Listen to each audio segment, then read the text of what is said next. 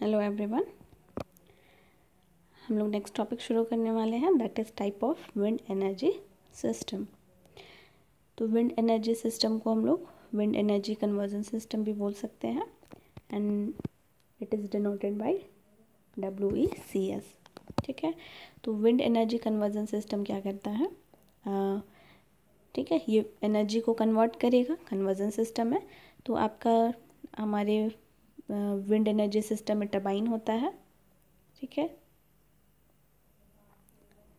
तो ये टर्बाइन जैसे ही विंड वेलोसिटी के साथ आएगा तो ये टर्बाइन रोटेट होना शुरू करता है, ठीक है? तो विंड के पास कौन सा एनर्जी होता है? हमने लास्ट लेक्चर में देखा था, काइनेटिक एनर्जी के टर्म में होगा। एंड ये इसका जो शाफ्ट होगा, टर्बाइन का शाफ्ट, ये आपके जनरेटर से कनेक्टेड होगा, ठीक है? एंड जनरेटर आपके का शाफ्ट जो होगा, वो लोड से कनेक्टेड होगा। तो जैसे ही काइनेटिक एनर्जी यानी कि विंड का फ्लो होगा टर्बाइन में टर्बाइन रोटेट करना शुरू करेगा। एंड जैसे इसका रोटर शाफ्ट जो है ये भी रोटेट कर रहा है शाफ्ट से कपल कौन है? जनरेटर तो जनरेटर क्या करेगा? रोटेट होगा एंड ये इलेक्ट्रिसिटी जनरेट करेगा। ठीक है? तो यहाँ पे हम लोग क्या देखें कि एनर्जी का कन्वर्जन हो रहा है किस फॉर्म में? Kinetic energy into electrical energy तो इस तरीके से यहाँ पर जो विंड एनर्जी कन्वर्जन सिस्टम है, यहाँ पर किस तरीके से एनर्जी का कन्वर्जन हो रहा है फ्रॉम विंड एनर्जी और kinetic energy to electrical energy तो सबसे बेसिक अगर हम बात करें बेसिक क्लासिफिकेशन की, ठीक है विंड एनर्जी कन्वर्जन सिस्टम का तो ये आपका दो टाइप का होता है. First one is stand alone conversion system या स्टैंड अलोन पावर सिस्टम बोल सकते हैं। इसका दूसरा नाम है ऑटोनमस पावर सिस्टम या फिर आइसोलेटेड पावर सिस्टम बोल सकते हैं। एंड दूसरा जो है, दूसरा क्लासिफिकेशन हम करेंगे it will be grid connected system ठीक है? तो स्टैंड अलोन और ग्रिड कनेक्टेड सिस्टम अपने सोलर एनर्जी सिस्टम में भी पढ़ा होगा। ठीक है? तो सेम यहाँ पर भी सेम मैकेनिज़्म यहाँ पर भी होता है। सपोज़ हम कंसिडर करते हैं। आपने एक प्लांट इंस्टॉल किया है डब्ल्यू ई सी एस ठीक है? विंड एनर्जी कन्वर्जन सिस्टम ये आपने एक प्लांट इंस्टॉल किया है। एंड ये कनेक्टेड है आपके लोड से। ठीक है? जैसे ही इसमें काइनेटिक एनर्जी आएगा, ठीक है? यहाँ पर एनर्जी कन्वर्जन होगा, जो भी वर्किंग प्रिंसिपल है उसके अकॉर्डिंग एंड ये प्रोड्यूस क्या करेगा? इलेक्ट्रिकल एनर्जी ठीक है? ये इलेक्ट्रिकल एनर्जी किसको ट्रांसफ़र हो रहा है? लोड को ट्रांसमिट हो रहा है। तो यहाँ पर हम लोग देख सकते हैं कि जो आपका प्लांट है प्लांट एंड लोड एक दूसरे से डायरेक्टली कनेक्टेड है, ठीक है? इन केस अगर आपका जो प्लांट है वो कभी पावर जनरेट नहीं कर पा रहा है तो ये लोड को सप्लाई भी नहीं कर पाएगा, ठीक है? लोड ऑफ़ कंडीशन में चला जाएगा। बट इन केस अगर ठीक है? फॉर्चुनेटली अगर प्लांट वर्क कर रहा है ऑपरेटिंग कंडीशन में है तो एनर्जी जनरेट करेगा यानी ये लोड को भी ट्रांसफ़र करेगा तो लोड आपका ऑन कंडीशन में रहेगा। तो इस तरीके का जो सिस्टम होता है, उसको हम लोग स्टैंड अलोन मोड या फिर स्टैंड अलोन पावर सिस्टम बोलते हैं, जिसमें प्लांट से डायरेक्टली कनेक्टेड होगा लोड ठीक है? प्लांट से पावर मिला तो लोड रन करेगा। प्लांट से पावर नहीं मिला तो लोड रन नहीं करेगा। सेकंड टाइप का क्या है? ग्रिड कनेक्टेड तो ग्रिड कनेक्टेड में क्या होता है? आपके पास एक पावर प्लांट होगा, ठीक है? यहाँ पर हम विंड पावर प्लांट अज्यूम कर लेंगे। एंड इसका कनेक्शन होगा किसके साथ? लोड के साथ। ठीक है, ये आपका प्लांट हो गया, ये लोड है। तो प्लांट जब कैपेबल होगा एनर्जी जनरेशन के लिए तो ये पावर ट्रांसफ़र करेगा किसको? लोड को। ठीक है? एंड इन केस अगर किसी वजह से कोई फॉल्ट आ गया फॉल्ट अकर हो गया, या फिर विंड का स्पीड इतना ज़्यादा नहीं हो पाया कि टर्बाइन आपका रोटेट कर पाए एंड पावर जनरेट हो पाए। तो इस केस में क्या होगा? लोड तो आपका कट आउट हो जाएगा। ठीक है? बट ग्रिड कनेक्शन में ऐसा नहीं होता है। ठीक है, ये स्टैंड अलोन मोड का सिचुएशन था। बट ग्रिड कनेक्टेड मोड में क्या होता है? एक ग्रिड भी होता है। ठीक है? ग्रिड जो कनेक्टेड होता है, वो इंडक्शन जनरेटर से कनेक्टेड होता है। ये आपका ग्रिड हो गया। ये आपका इंडक्शन जनरेटर होता है यहाँ पर। एंड इंडक्शन जनरेटर जो कनेक्टेड होता है, वो आपके डीसी मोटर से कनेक्टेड होता है। ठीक है? डीसी मोटर होगा, इंडक्शन जनरेटर होगा ग्रिड होगा एंड इस ग्रिड का जो कनेक्शन होगा वो किसके साथ होगा? लोड के साथ होगा। तो ये कंप्लीट सेटअप होता है कंप्लीट कनेक्शन होता है, एक ग्रिड कनेक्टेड पावर सिस्टम का। तो अब यहाँ पर देख सकते हैं कि सपोज़ ये आपका जो प्लांट है, ये पावर जनरेट कर पा रहा है, ठीक है? तो ये लोड को ट्रांसफ़र कर रहा है। एज वेल एज़ ये क्या करेगा? ये आपका जो ग्रिड है, ठीक है, ये ग्रिड को भी पावर ट्रांसफ़र करेगा, ठीक है? तो ग्रिड को भी पावर ट्रांसफ़र कर रहा है तो ग्रिड जब पावर रिसीव कर रहा है इलेक्ट्रिकल पावर रिसीव कर रहा है तो ये किसको ट्रांसफ़र करेगा? ये ट्रांसफ़र करता है इंडक्शन जनरेटर को। एंड जैसे ही इंडक्शन जनरेटर जो कि इलेक्ट्रिसिटी जनरेट करता है बट इन केस जब वो इलेक्ट्रिसिटी को रिसीव करने लगा एज अ इनपुट इसमें मिलने लगा इलेक्ट्रिक पावर ठीक है? तो ये इंडक्शन मोटर की तरह बिहेव करना शुरू कर देगा। मोटरिंग मोड में ऑपरेट होना, होने लगेगा, ठीक है? तो ये मोटरिंग मोड में ऑपरेट होगा, ठीक है? एंड आपका ग्रिड भी कनेक्शन ग्रिड वाला जो पार्ट है ये भी, ठीक है? कनेक्टेड है। एंड लोड में भी आपका सप्लाई कंटिन्यूस जा रहा है। अब सपोज़ जो पावर प्लांट है आपका पावर प्लांट एनर्जी जनरेशन करना बंद कर दिया। ठीक है? फॉल्ट कंडीशन आ गया या फिर सफिशेंट वेलोसिटी ऑफ़ विंड नहीं मिल पाया। तो इस केस में क्या होगा? ग्रिड से इसको सप्लाई मिलना बंद हो जाएगा, ठीक है?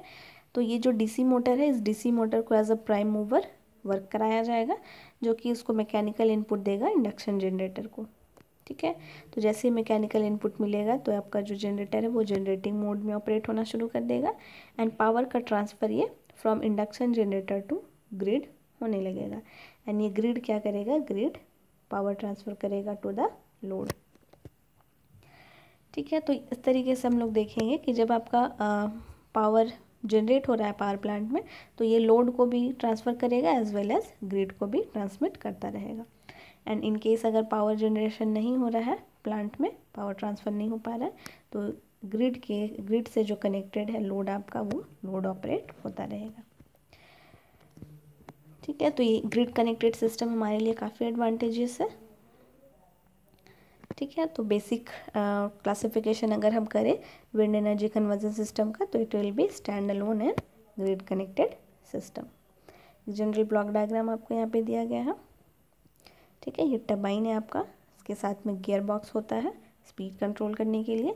एंड इसके शाफ्ट में आपका जनरेटर कनेक्टेड होगा, जो कि इलेक्ट्रिकल इनपुट प्रोड्यूस करेगा।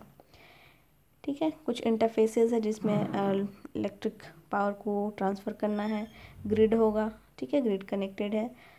एंड साथ ही यहाँ पर कंट्रोल यूनिट्स भी है जो कि डिफरेंट फैक्टर्स को यहाँ पर कंट्रोल करेगा लाइक जनरेटर को जो भी कंट्रोलिंग ऑपरेशन होगा। एंड यहाँ पर आपका पिच कंट्रोल है ठीक है? ब्लेड्स के पोजीशन को कंट्रोल करेगा। यहाँ पे गियरिंग एंड कपलिंग को भी यहाँ पर यानी कि स्पीड्स को ये कंट्रोल करेगा ठीक है? तो डिफरेंट फैक्टर्स को कंट्रोल करने के लिए कंट्रोलिंग यूनिट है यहाँ पर। एंड इस तरीके से आपका एक फीडबैक सिस्टम डिज़ाइन किया हुआ है।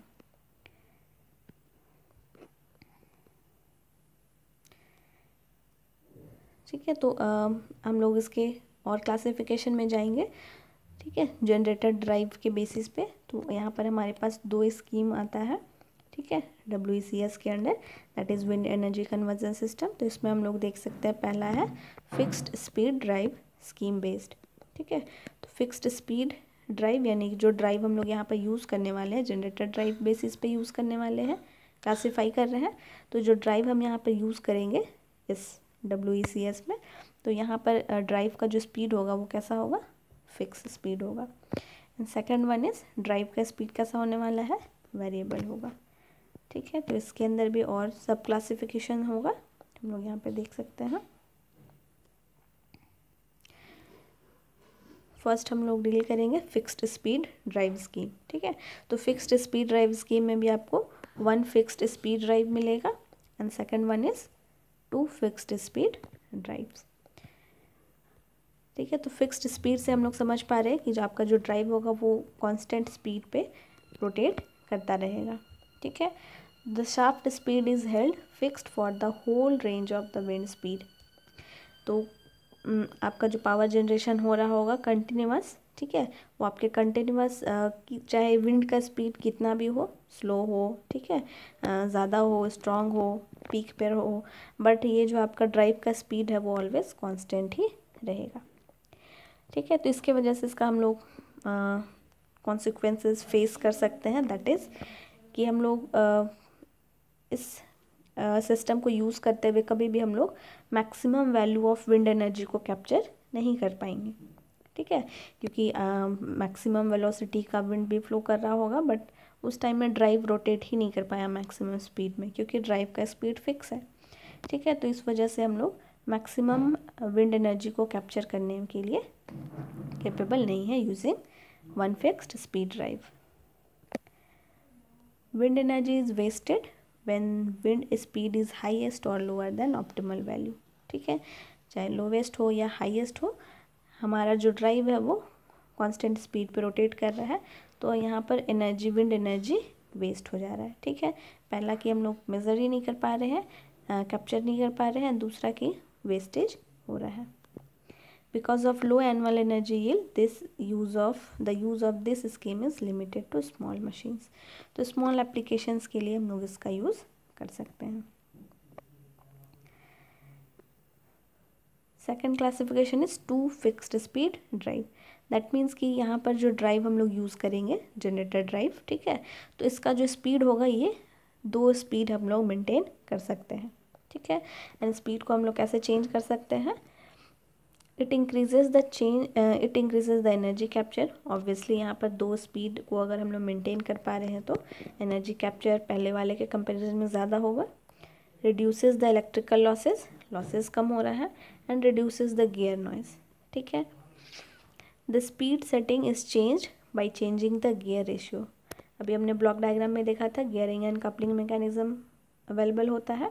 तो वहाँ से ये स्पीड को हम लोग सेट कर सकते हैं, ठीक है? By changing gear ratio two operating speeds are selected ठीक है? तो दो स्पीड पे ही ऑपरेट होने वाला है। तो दो, दोनों स्पीड कैसे सेलेक्ट किया जाता है? To optimize the annual energy production ठीक है? With expected annual wind speed distribution at site तो दो स्पीड इस तरीके से सिलेक्ट किया जाता है, ताकि ये एनुअल एनर्जी प्रोडक्शन को इंक्रीज़ करे इन्हांस करे, ठीक है? एंड जो एनुअल विंड स्पीड डिस्ट्रीब्यूशन होना है ठीक है वो एक्सपेक्टेड रेंज में हो। Induction generator is design to operate at two speed ठीक है? तो ये जो जनरेटर ड्राइव जो दो दो स्पीड पे ऑपरेट होने वाला है उसको आ, इस तरीके से डिज़ाइन किया जाता है कि वो दो स्पीड पे रन हो सके। तो इसके लिए हम लोग दो मेकेनिज़्म को फॉलो कर सकते हैं। First one is single uh, by having single stator winding with pole changing arrangement by connecting the winding coils in series or parallel ठीक है तो हम लोग जानते हैं कि जनरेटर या मोटर तो इसमें दो पार्ट होता है ठीक है एक आपका स्टेटर पार्ट होता है एंड दूसरा आपका रोटर पार्ट होता है ठीक है एंड स्टेटर एंड रोटर दोनों में वाइंडिंग्स होते हैं ठीक है अगर हम इंडक्शन जनरेटर की बात करें तो स्टेटर में आपको फ़ील्ड वाइंडिंग मिलेगा एंड रोटर में आपको आर्मेचर वाइंडिंग मिलेगा। ठीक है? तो स्टेटर में जो हम फ़ील्ड वाइंडिंग करेंगे ठीक है? अगर आ, हम सिंगल वाइंडिंग कर सकते हैं डबल वाइंडिंग भी कर सकते हैं ठीक है? मशीन में आप लोग पढ़ रहे होंगे अगर। तो यहाँ पर हम लोग स्पीड को हमको ऑप्टेन करना है ठीक है? डबल स्पीड, टू स्पीड पे ऑपरेट कराना है। तो ये हम लोग किस किस मैकेनिज़्म से ऑप्टेन कर सकते हैं? सिंगल स्टेटर वाइंडिंग से, ठीक है? स्टेटर में जो वाइंडिंग हमें करना है फ़ील्ड वाइंडिंग वो हम लोग सिंगल वाइंडिंग करेंगे, ठीक है? सिंगल वाइंडिंग होगा इस तरीके का।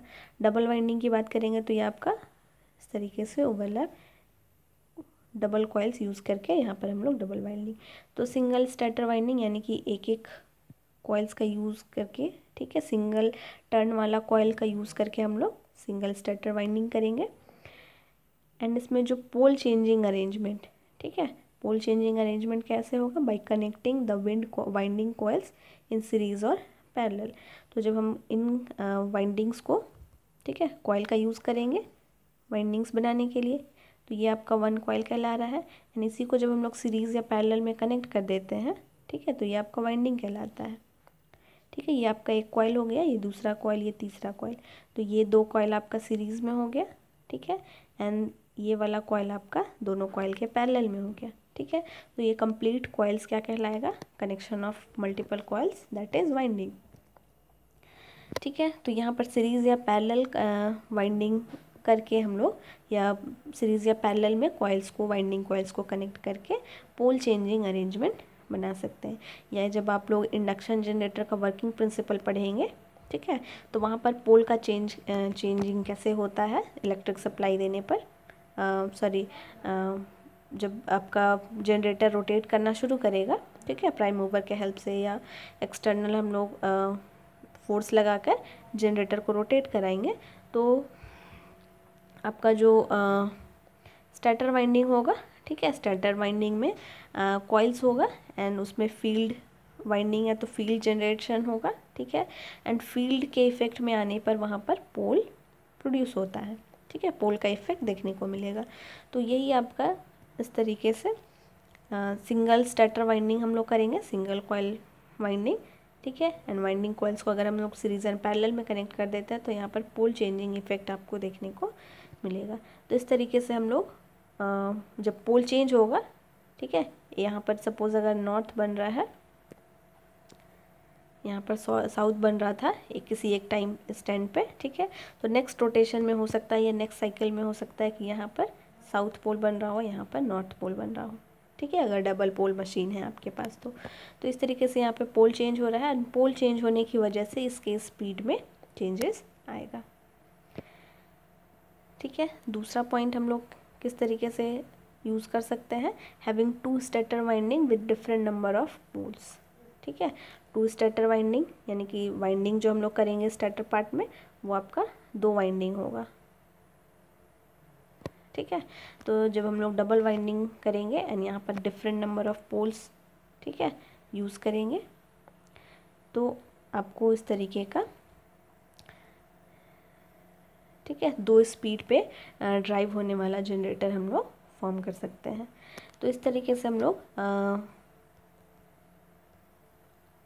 फिक्स्ड स्पीड ड्राइव स्कीम का यूज़ हम लोग कर सकते हैं for wind energy conversion system ठीक है तो ये था हमारा फ़र्स्ट टाइप ठीक है? जिसमें हम लोग फिक्स्ड स्पीड ड्राइव सिस्टम को देखें। नेक्स्ट हम लोग जो वेरिएबल स्पीड यूज़ करके हम लोग किस तरीके से एनर्जी जनरेशन हो सकता है, ठीक है? या वेरिएबल स्पीड ड्राइव स्कीम में किस तरीके से यूज़ होगा वेरिएबल स्पीड ये हम लोग देखेंगे।